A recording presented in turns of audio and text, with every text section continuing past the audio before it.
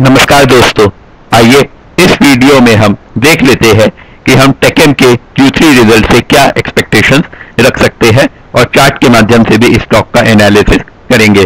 तो चर्चा शुरू करने से पहले मैं बताना चाहता हूँ इंट्राडे और स्विंग ट्रेडिंग के लिए हमारा टेलीग्राम चैनल है।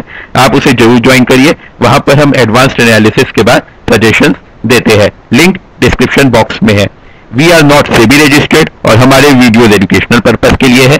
आप इन्वेस्टमेंट से पहले अपनी एनालिसिस भी करिएगा और अपने एडवाइजर से भी ज़रूर कंसल्ट करिएगा।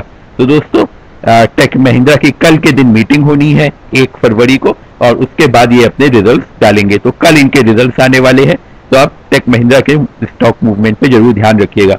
अगर मैं इनके पास के रिज़ल्ट देखूँ दोस्तों तो यहाँ पे सारे फिगर्स करोड़ में है तो 7400 करोड़ 7500 करोड़ 7931 फिर 8464 करोड़ तो कंपनी एक आप कह सकते हैं कि रेगुलरली एक अपना इंक्रीज दिखाते हुए चल रही है पिछले कुछ क्वार्टर से। तो पिछले साल इन्होंने 7500 करोड़ का बिज़नेस था तो अब की बार की जो एक्सपेक्टेशन रहेगी वो 87 8800 करोड़ के आसपास की एक्सपेक्टेशन रहेगी लास्ट क्वार्टर को देखते हुए।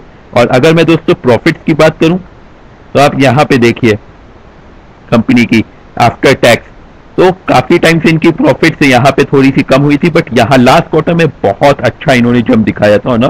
Quarter on quarter basis 986 crore से बढ़ के 1500 करोड़ की तो यहाँ पे इसलिए वजह से कंपनी से प्रॉफिट्स में भी करीब 1700 1800 करोड़ के आसपास की एक्सपेक्टेशन रहेगी, अगर वो स्टॉक हमें और ऊपर जाना है तो आईटी स्टॉक के रिजल्ट्स वैसे अब की बार लोगों को उतने पसंद नहीं आ रहे विप्रो के रिजल्ट्स काफ़ी डाउन थे। तो आइए देखते हैं इनका क्या होता है।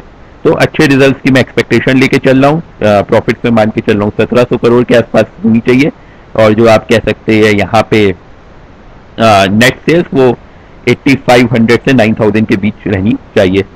तो अगर मैं दोस्तों इनकी आज की डिलीवरी पोजीशंस देखूँ तो 38 परसेंट की डिलीवरी रही है। ठीक ठाक डिलीवरी रही है आज इनकी। अब आइए, अब चार्ट पे हम देख लेते हैं। तो स्टॉक में आप अगर किसी भी पोजीशन में किसी भी प्राइस पे पोजीशन बनाते हैं तो आपको 1350 का स्टॉप लॉस मेंटेन करके चलना है। वो 200 डे का मूविंग एवरेज भी है और ये ट्रेंड लाइन सपोर्ट भी है।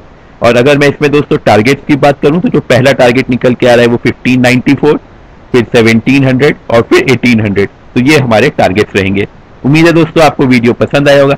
आप हमें लाइक एंड सब्सक्राइब कीजिए। सोशल मीडिया स्पेशली टेलीग्राम पे ज़रूर फॉलो करिए। आपको काफ़ी फ़ायदा होगा। वीडियो देखने के लिए शुक्रिया दोस्तों। आपका दिन शुभ हो। अपने विचारों को कमेंट सेक्शन में ज़रूर लिखिएगा।